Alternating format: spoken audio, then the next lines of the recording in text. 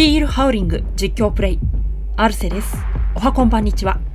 第2回の実況です。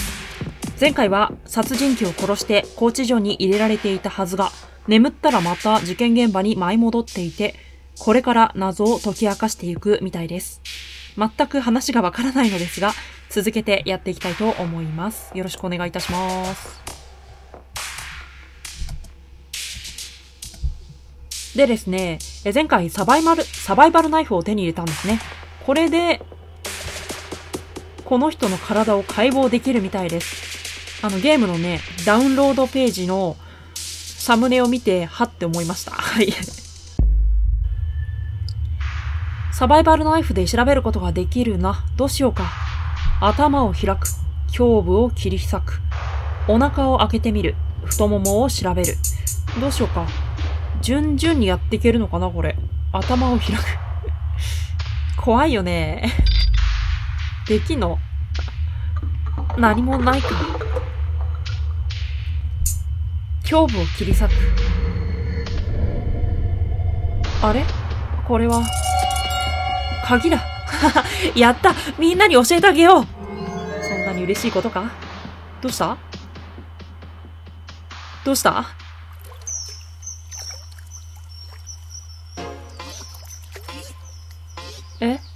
ここは？ちょっと、何ぼーっとしてるのよ、ジョナさん。もうボーイスカウトのキャンプは始まってるわけ。あんたみたいなすっとろいのがいると、リーダーに怒られちゃうんだから。ボーイスカウト？キャ、キャンプ？そうよ。ほら、こっち来てよ。あんたみたいなとろいのでも、できる仕事用意してるから。な、んだいきなり。でも、この状況、覚えがある気がするって、まだ、まだ髪の毛に血がついてんだけど。キャンプに来ててやだな。なんかここにいる蝶が気になるんだが、あんまり意味はないのか。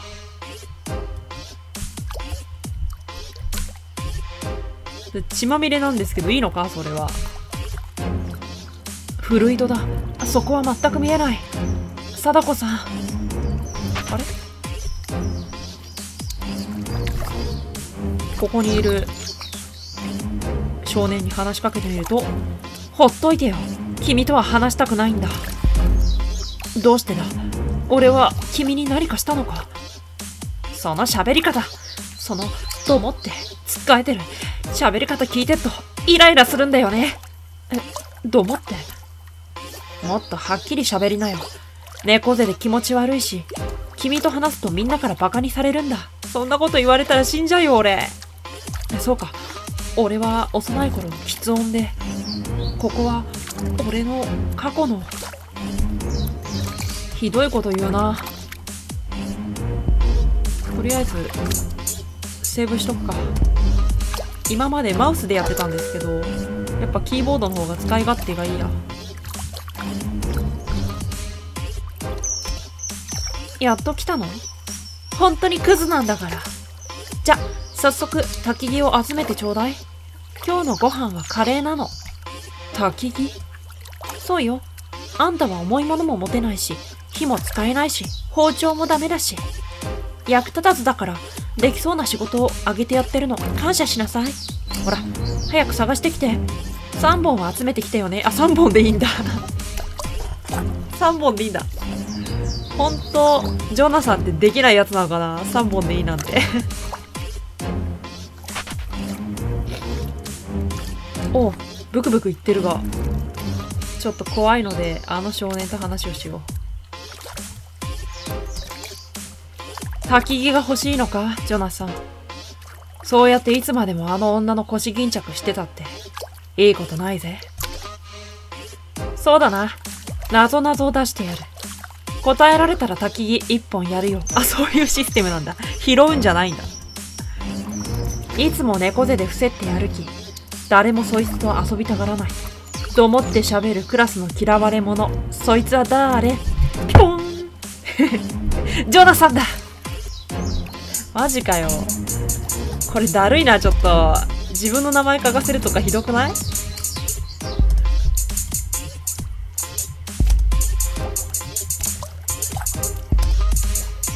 ジョナタンとか言って。ジョナさん。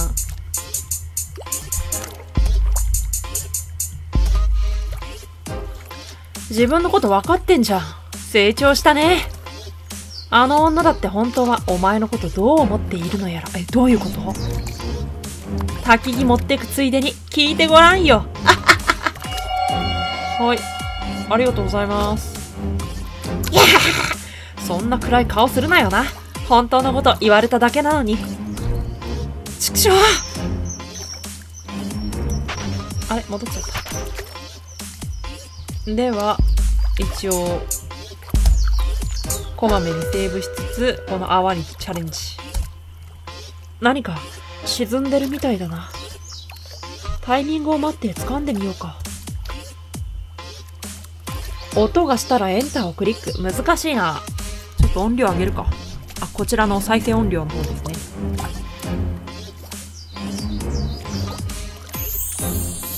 え？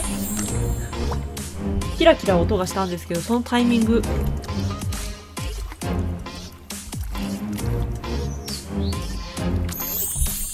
よし取れた木の枝。ま、これも焚き木だろ。濡れてたらね、ちょっと使えないと思うけど。おい。そしたら、あと一本なわけだが。どこに行けばいいんだ？拾う焚き木はないのか、普通に。木の下とかで。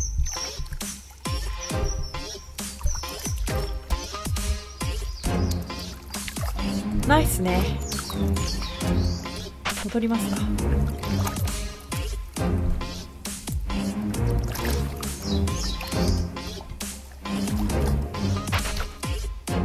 あ、ここにいた。でも、ただじゃあげないよ。僕とゲームで勝ったらあげるよ。どう？セーブするわ。そんなんだから友達できないんだよって言われちゃったけど、セーブするわ。よし。ほら、ここに石があるだろ？これをね、最後の1個取った方が負けだよ。一度に取れるのは3個まで。先行はジョナサンからでいいよ。えへわかったわかった。現在の石の数は20個だよ。何個取るの？じゃあ、とりあえず、これなんかあんのかな ?3 個。3個取って。14個だよ。何個取るの ?8 個だよ。何個取るの？えー、っと、どうだろうな。次が5個になるでしょ？うーん。まあいいや。3個取るよ。最後の石を取ったら負けなんだよね。はい。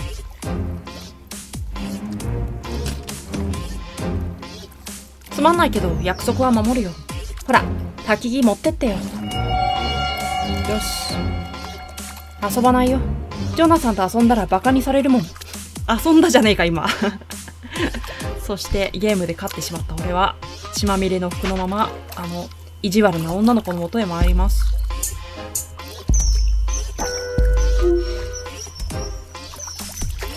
集めました？集めてきたのね。やればできるじゃない。えらいえらい。この子は、この子だけは、そんなことないと思ってた。言葉は悪いけど、一緒にいてくれる。だから、まさか。なあ、俺は、お前のこと好きだった。俺は、お前は、俺のこと。はああのね、前から言おうと思ってたんだけど、勘違いしてない？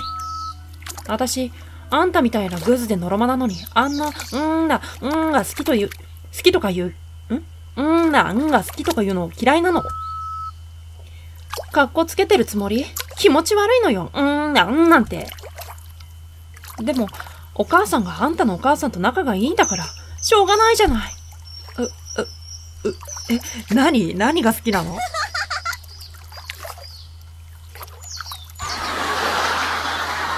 あ、ちょっとなんか、ボコられてんだけど。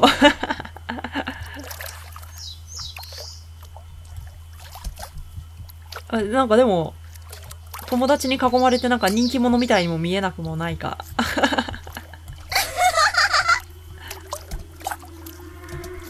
笑い方がちょっと下げ詰まれてるんだけど、いいのかなこれ？おう。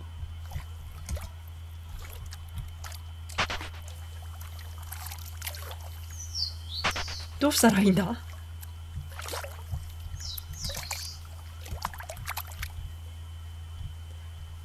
それではまたブクブク言ってるので。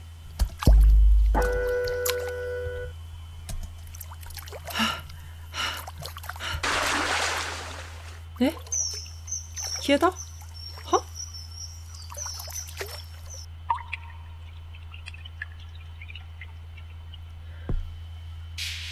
ジョナサンねえジョナサンったら大丈夫？え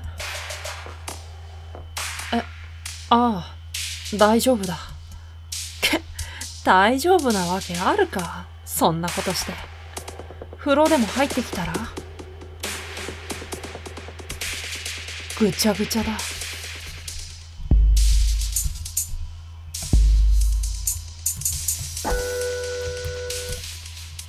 ねえ、ひどいわ。顔色も悪いし、服もひどく汚れてる。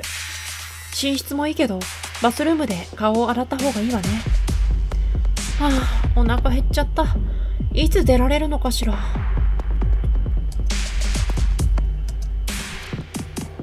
死後、心清き者には天国の扉開かれ、審判の日、主と共に復活せん。あんた、なんてことしたんだ。ああ、それ以上に、彼女に体に、彼女の体に鍵なんか隠した奴が悪趣味か。本当に、悪趣味極まりないね。あ、開けられた。おおなんかいっぱいキラキラ光ってる。蝶々も飛んでるしね。メルヘンチックですが、その前に、ここに、ちょっと、ちょっと、このジェシカちゃんがどいてくれないと、奥になぜかあるお風呂に入れないんだが。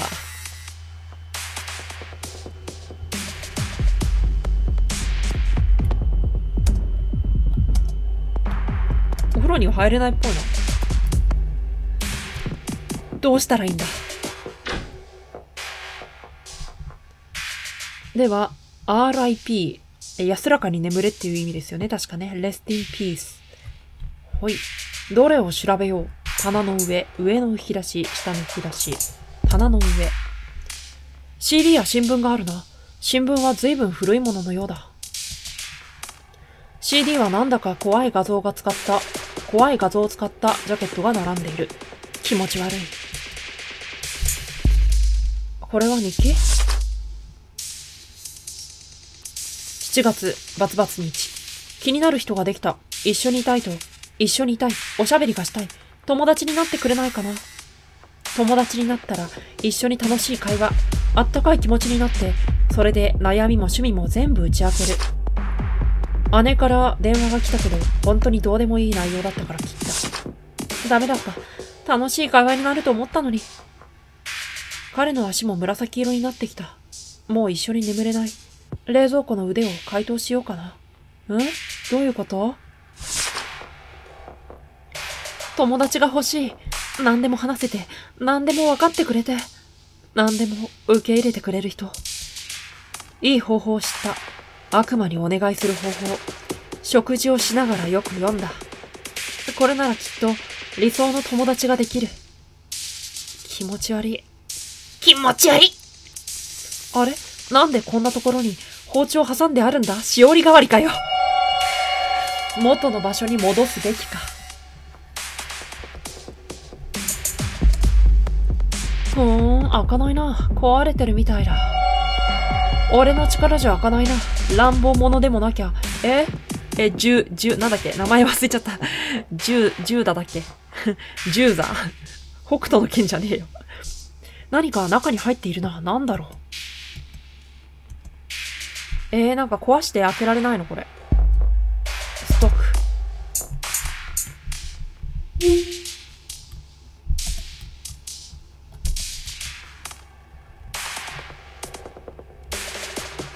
どれを調べよう小瓶。なんだ？これは、クラゲ？気持ち悪い。湿気の。お前よりはマシさ？喋るんだ冷蔵庫の中身は食べるにしては不効率。それならどういう意味があるんだろうか。あいつは一体何だって、あいつは一体何だって人を冷蔵庫にしまうんだ。知るが、変態の考えることなんて。考えてあげなよ。せめて、君だけは考えてあげなよ。うわ、キモいんだけど。これは走り書きのメモ。よく見てみる。なんで、なんでこんなことに。優しい人だと思ってたのに。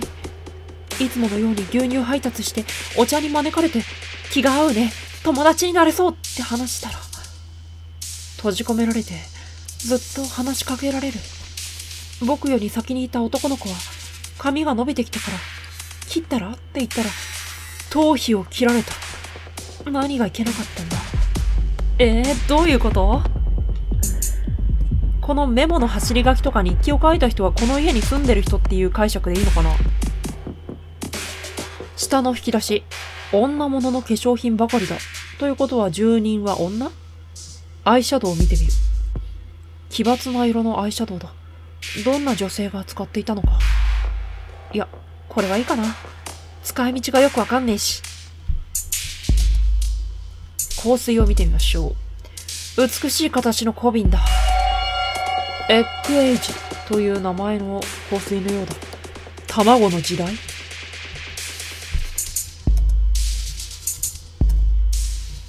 美しい赤をした口紅だ。少々使いかけのようだな。じゃあ、ジョナサンに塗ってみるか。念のため、持って行ってみようかな。ジェシカにプレゼントしようかな。ということで、全部見終わったかな。このベッドは？なし。え？ここ動けないんですけど。あ、蝶々に固められてる。ちょっと。すごい量の標本が飾ってあるな。よく見てみる。よく見ると、一部の蝶がまるで逃げ出したように欠けている。今飛んでる蝶じゃない？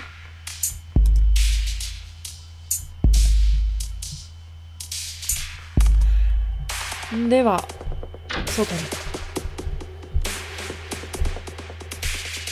に。難しいな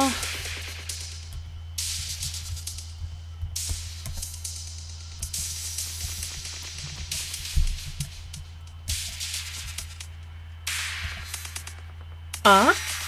開かない棚がある？開かない棚がある？しょうがねえな。俺が開けてやるよ。早速頼みますか。よっしゃやるかじゃあ開けてくるから、おっさんはちょっと待っててよ。おっさんって言わないで。27歳なんだからさ。開いたぜ。思い切りが足んないんだよ、おっさんのくせによ。割と簡単に開いたぜ。はは。すごい音がしてたか。あ、もうバッキバキにしてやったからな。で、中には変な箱が入ってた。細工箱か何かみたいだ。俺には意味が全然わかんねえや。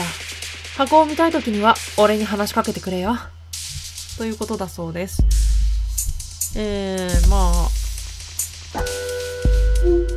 あ、開け終わった後の棚の様子をちょっと拝見しに行きます。うん、わかんないみたいです。じゃあ、この少年に見せてもらえますかね。ほら、これ、付箋が貼ってあるんだ。香水の名前だって、香水ってどこにあるんだろうな。香水なら見つけたよ。もっとよく見せてくれ。ジョナサン、6つのボタンがついている。順番に押せば開くのか？なんて書いてあんだ？よくわかんねえな。順番ってもさ、全くノーヒントだぜ。香水の名前っても意味がよくわかんねえし。そういや、香水ってどんな名前だったんだ？エッグエイジという名前だったが。うっそ。なおさら意味わかんねえ。何が関係あるってんだよ。だいたいこのドロップ D ってのも意味不明だよな。ドロップ D。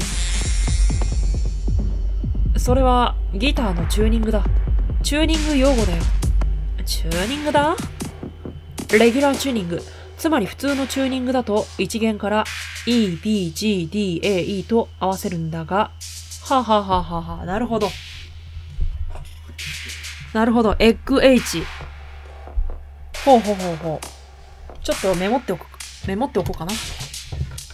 よいしょ。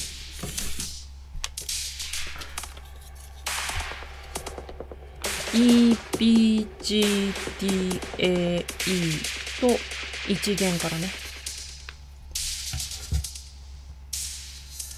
低い音に合わせる特殊チューニングがある。ドロップ D もその一つだ。待てよ。楽器の話なのに、なんでアルファベットが？ドレミファソラシドじゃねえの？ジューダス、もっと勉強してくれよ。ドレミファソラシドをギターでは CDEFGABC って言うんだよ。C がド。オーケーオーケー。意味不明だけど先に進んで。ドロップ D だとどうなるんだ、ベイビー。ドロップ D でチューニングすると音階は1弦から EBGDAD となる。EBGDAD。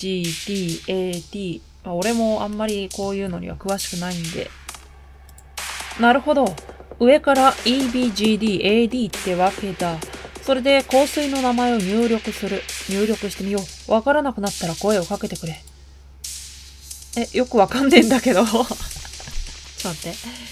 1弦から ABC、AB、ABGDAE だから、エッグ、エッグ H。卵の時代。まず E、E を押す。E は1弦。そして G は3弦。そして次も3弦。で、次が A なので5弦。そして G なのでまた3弦。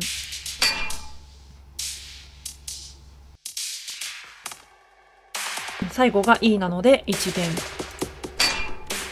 あ、開いたぞ。すげえちょっと何が入ってんだよ。見せて見せて。ということで今回時間になりましたので、この辺りで終わりにしたいと思います。次回もお楽しみに一体何が入っているのか、グロテスクなものじゃないといいですけどね。じゃあのー。